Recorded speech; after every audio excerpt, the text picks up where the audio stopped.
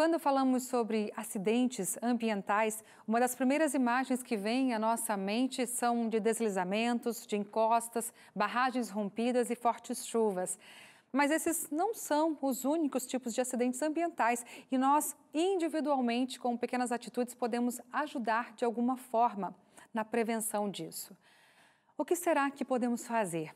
Quem vai nos trazer mais informações sobre esse assunto é o Alex Montes, que é arquiteto e urbanista. Oi, Alex, boa noite, seja bem-vindo ao Revista. Boa noite, Darcy. Tudo bem com você? Graças a Deus, na paz. E com você?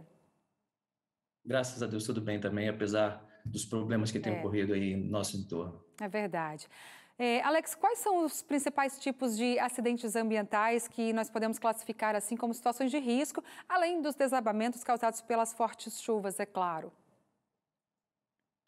Olha, existem muitos tipos, mas os que estão mais ligados assim à nossa região tropical seriam as tempestades tropicais, os tufões, que trazem muitos problemas a muitas cidades do Brasil, e sem contar os que acontecem por causa do ser humano, né, como acidentes nucleares, vazamentos, as queimadas também que estão muito presentes no nosso nosso país, entre outros, né? Tá, Alex, no caso do, dos desabamentos, muitos brasileiros só conseguem construir uma casa próximo ao local onde existe o risco, seja por falta de dinheiro ou por falta de planejamento, né, de gestão pública. Existe alguma providência que pode ser tomada neste caso? Olha, o ideal mesmo, na verdade, era não se construir nessas regiões, né? Mas é, isso é um pouco complicado dentro da situação que a gente vive no nosso país. Então, o ideal mesmo eram locais planos, sem encostas, e que acima não tivessem é, problemas justamente de desabamentos. Né? Agora, se for necessário construir em áreas de risco, é ideal que se execute contenções dentro das normas com profissionais habilitados e drenagens que encaminhem as chuvas para galerias pluviais que não permitam deixar esse solo né, encharcado, que possa dar justamente algum tipo de problema nesse sentido. E também para que você possa fazer também casas que sejam adequadas, que tenham fundações que também possam suportar todos esses problemas e essas intempéries que possam acontecer. Tem as nossas ações individuais também, né? Sobre o lixo, por exemplo, separar ali corretamente os resíduos pode ajudar de alguma forma nesse processo? Sim, com certeza, porque quando nós descartamos o lixo separadamente, nós ajudamos o ecossistema que nós temos. Retiramos o lixo seco para reciclagem e os orgânicos que podem ser usados até como adubo para a vegetação, né? Esse processo ajuda a não sobrecarregar o sistema de coleta. Com isso, os aterros sanitários podem usar os dejetos orgânicos para retirar proveito do lixo também, com produção de gás, metano, por exemplo, né, que é muito utilizado em muitos lugares nos aterros sanitários. É, e é importante ressaltar que lixo, assim, descartado na rua, jamais, gente. Sempre que você tiver um papel ali, alguma coisa que você queira descartar, guarde na sua bolsa ou no seu bolso até chegar perto da lixeira mais próximo. próxima. Isso evita muita coisa, não é mesmo? Com certeza. Minha esposa, então, ela sempre pega no meu pé com relação a essas coisas para nunca jogar nada pela janela.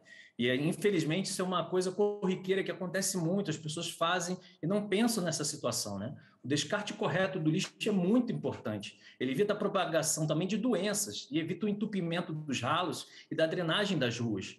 É, precisamos ter, ser responsáveis até com papel de bala. Muitas das nossas enchentes seriam menores se nós jogássemos todo e qualquer lixo nas lixeiras e assim trabalhar de uma maneira ordenada, né? Eu já trabalhei com favela bairro e, e, também nesses lugares a gente tinha um problema muito grande e as pessoas jogavam lixo em qualquer lugar e exatamente aconteciam problemas grandes para essas comunidades. Exatamente, Alex. E em relação ao planejamento das cidades, existem também os bueiros inteligentes, né, que fazem ali a coleta do lixo que for descartado incorretamente, né? Com certeza, faz aquela limpeza e aí você pode pegar esse material, né, separar e ao mesmo tempo jogar ele no destino correto, como deve ser feito. Agora, Alex, desde pequenos a gente ouve aí falar sobre a preservação do meio ambiente e isso funciona a longo prazo também. Plantar árvores pode ajudar de alguma forma nesse processo aí de prevenção de grandes acidentes? Sim, né? Até porque a árvore também ela faz outros tipos de trabalhos, né? Como também a melhoria do nosso ar e tudo, né? Então a qualidade do ar fica muito melhor quando nós temos árvores no nosso entorno.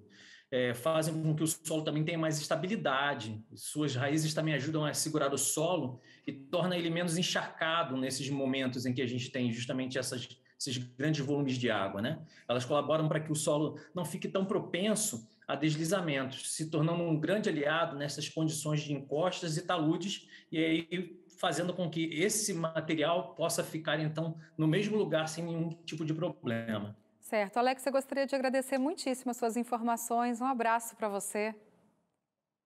Um abraço para você também, Darcy, para todos os telespectadores. Uma boa noite. Boa noite.